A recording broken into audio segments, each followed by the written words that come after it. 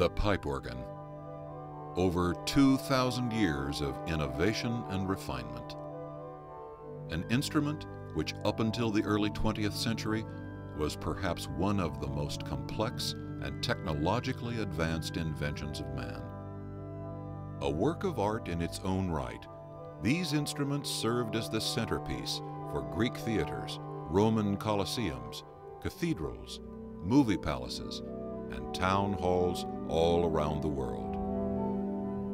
From small chamber organs to large cathedral and concert instruments, the pipe organ has a rich history, and each is as unique as the builders who created them and the countries that treasure them.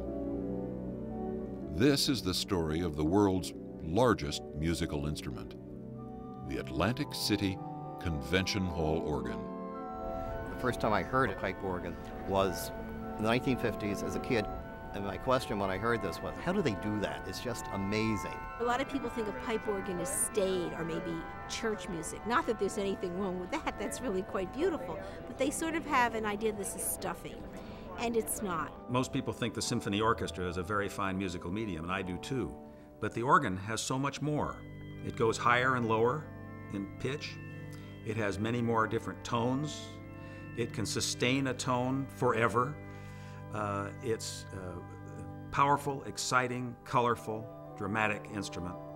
It generally uh, thrills everybody who hears it. The magic of the pipe organ for me is, is the depth of the sound, the, the breadth of the sound, the height of the sound, the incredible dimensions of sound that can be brought forth from one instrument. The beauty of the pipe organ is that, uh, unlike any other musical instrument, uh, it can move men's souls like nothing else. It gives you a feeling of uh, unequaled power. And as you play it, the magic uh, will that you can create with it can make people cry, can make people want to dance, can make people want to march, but it is a very powerful instigator of people's emotions. It can be happy, can be very sad, can be joyful, can be um, any different emotion that you can think of. There is something about the sound of a pipe organ that strikes people at a, at a visceral emotional level that no other instrument can quite duplicate. I mean, people can be overcome by the beauty of a violin or the human voice or the majesty of an orchestra. But there's something about the pipe organ that it raises the hair on the back of people's necks.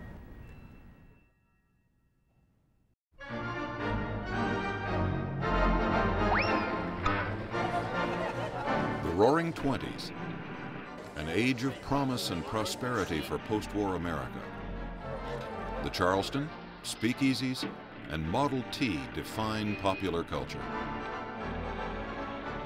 Chaplin and Pickford dominate the silent screen, but entertainment isn't destined to remain silent for long. As radio reaches across the country for the very first time, an unlikely team of organ builders would construct the world's largest and most diverse musical instrument. Atlantic City, known then as the world's favorite playground, would be the instrument's home.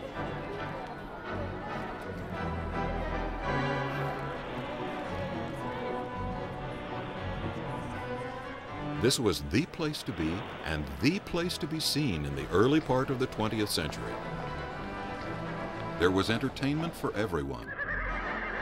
Diving horses, Broadway-bound theatrical productions, even boxing matches.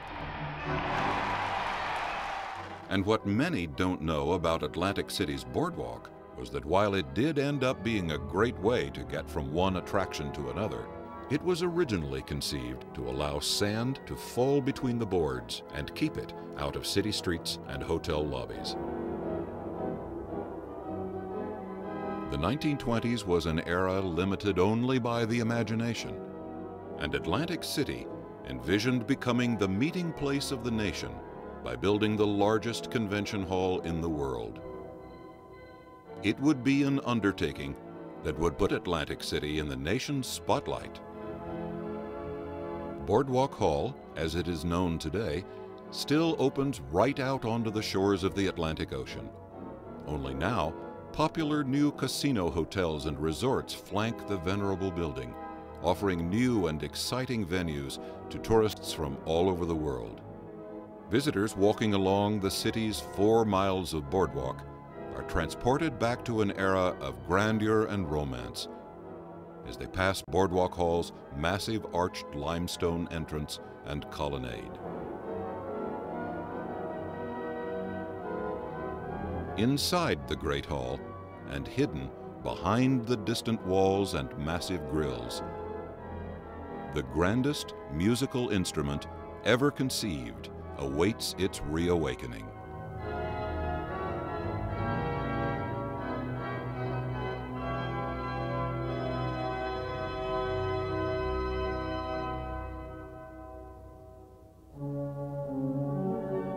The convention hall's interior is an enormous space. It was designed to seat 41,000 people. The main auditorium itself can easily accommodate two jumbo jets. What's truly wonderful from an engineering point of view is that the, the vast single span roof is actually supported only by the building's walls. There are no pillars, so the view from one end of the room to the other is totally unobstructed. In 1929, this was an absolute state of the art building, a massive room which, in a matter of hours, could be transformed from a conference centre into a skating rink or a full size football pitch or even a theatre, to name but a few of its uses. Convention halls allowed masses of people to convene from all over the nation in one place and at one time to establish common goals, affirm community, and create a sense of mission and shared ideals. These organizations, affiliations, companies, and church groups were part of a nation that sang. A nation that sang songs of allegiance, dedication, team spirit, and belief. And to motivate, inspire, rally, and excite this many people in this big a space, a heroic and commanding pipe organ would be needed. In those days, you didn't have amplification systems that could provide music in these vast sort of spaces, and really pipe organs were the only solution. Of course, pipe organs and large pipe organs had been built many times before, but this hall was different, bigger, and therefore the organ needed to be bigger and different too. Filling over 9 million cubic feet of space with music, a pipe organ was the obvious solution. But it would be a pipe organ unlike any other. Building an instrument of this size could best be described as a great experiment.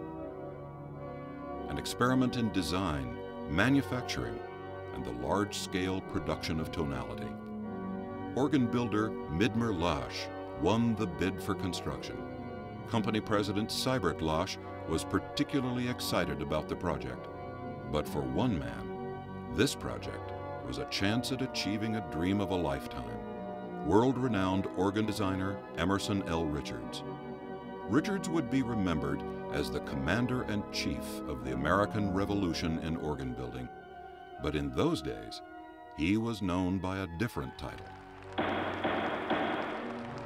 chair recognizes the distinguished gentleman from Atlantic City, Senator Richards.